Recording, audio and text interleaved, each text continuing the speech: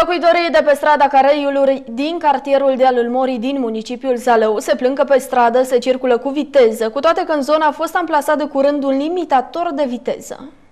Cu toate că ne aflăm în secolul 21 în municipiul Zalău, există și la această dată străzi neasfaltate. Un exemplu concret este strada Careiului din cartierul Dealul Mori, unde locuitorii se plâng că nu mai suportă praful care se ridică în urma mașinilor care trec pe aici și asta cu toate că de curând la cererea locuitorilor de pe stradă a fost amplasat un limitator de viteză conform căruia limita de viteză ar trebui să fie de 30 de km pe oră. Un bărbat care locuiește la numărul 110 pe strada Careiului ne-a invitat astăzi la fața locului să vedem și noi cum se circulă în zonă.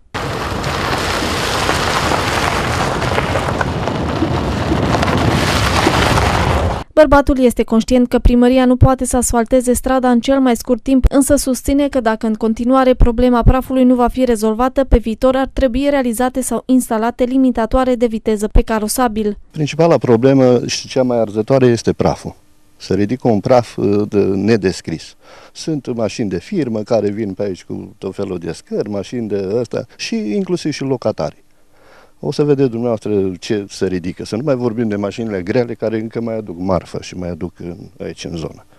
Praful, nu știu, trebuie găsit o, o posibilitate, ceva, de făcut ceva limitatoare de viteză, de mai ales aici porțiunea asta, că e de la pod, nu știu. Plus de asta am fost la, la primărie, m-a trimis un indicator de, de restricție de viteză, l-a pus pe partea stângă. Deci, deci nu, pe banda, nu pe sensul de mers. Nu, nu îl bagă nimeni. Probabil că și dacă era pe dreapta, tot aceeași treabă era. Pentru că, zice lumea, mă grăbesc și nu-l interesează. Deci nu, nu știu ce ar putea să se rezolve. Impozitul cum îl plătiți? Uh, din impozitul uh, nu am idee cum, uh, cam cât ar fi, ce zonă este, cât plătește unul care are toate utilitățile, să zicem, mă rog, în altă parte a cartierului. Dar trebuie plătit și destul de... După ce utilități și după ce condiții, ce... Asta e destul de consistent.